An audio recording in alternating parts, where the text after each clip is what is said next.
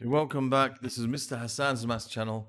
I'm now going to go over the October 2023 Pure Mathematics P1, sorry, Pure Mathematics P2 paper from Edexcel International A-Level.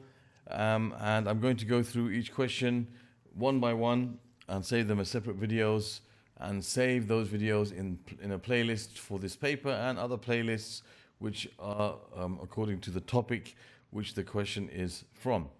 Um, so I'm going to take my time in answering some of these questions, keeping in mind some of the questions that students have when I'm teaching them and also students have when I'm, you know, when I see comments in the channel or whatever.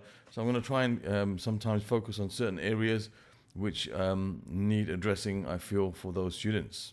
Now, let's make a start then. Question number one says, given that a, b, and c are integers greater than zero, okay, such that c equals 3a plus 1, and a plus b plus equals 15. So we know they're integers and they're all positive. All right, so a, b, and c are all integers and they're positive, and this relationship applies to them. Prove by exhaustion. Okay, by exhaustion, um, that the product ABC is always a multiple of 4. You may use the table below to illustrate your answer. You may not need to use all the rows of the table. Okay, so let's start off with, let's say the most obvious one. Let's say when A equals 1. Let's see what when A equals 1, because it looks like A is going to be like the smaller out of the other, other two numbers. So if A equals 1, okay, when A equals 1, then C is equal to 3 times 1 plus 1, which is going to be 3 times 1, 3 plus 1, which is going to be 4. So C is going to be 4. And if C is 4, then B is going to be, so when A is 1 and C is 4, okay, when A is 1 and C is 4, then you're going to have 1 plus B plus 4 equals 15. So B is going to be 15 minus 5, which is 10. Okay, now if you multiply these numbers together, you're going to get 40. And we know that 40 is 4 times 10. So this is a multiple of 4. Okay, the product ABC is always a multiple of 4. So here we can see this definitely is a multiple of 4. So this is true for when A is 1. When A is 1, then C has to be 4, and then B has to be 10 and the product of A, B, and C will always give us will give us 40, which is a multiple of 4. So let's see what happens when A equals 2. When A equals 2, then we can say C is equal to 3 times 2 plus 1, which is 6 plus 1, which is 7. So that's going to be 7 here. Okay, then B is going to be 2 plus 7, which is 9. 9 plus 6 is 15. So we can see that when A equals 2 and when C equals 7, then we can say that, you know, 2 plus b plus 7 equals 15. So b is 15 minus 9, so b is going to be 6. And if you multiply these together, you're going to get um, 42 times 2, which is 84. Okay, 6 times 7 is 42, times 2 is 84. And that's the same as 4 times 21. That is a multiple of 4. Okay, we can see that. And when a equals 3, Again, let's see when a equals 3, what's going to happen to c. c is going to be 3 times a plus 1, so it's 3 times 3 plus 1, which is going to give you 10.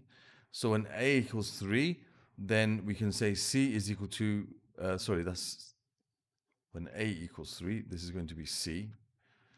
c equals 10. So when a equals 3, c is equal to 10, and b is going to be 2. Of course, I have to add up to 15. All right, so that's going to be 6 times 10, which is 60. And 60 is the same as 4 times 15.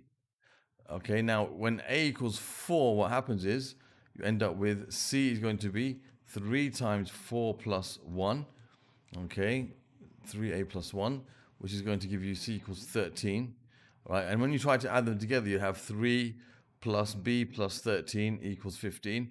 Well, you can't have any number for b because b has to be a positive integer and this gives you more than 15 so b will have to be negative in this case. So we've exhausted all the possible values that a can be all right? And therefore the, all the possible values that c and b can be for a b and c to always be greater than zero integers that are greater than zero. So there's the only possible values. So we've exhausted all the possible values of a b and c if this statement is true that they're integers greater than zero all three of them. All right those are the only possible values.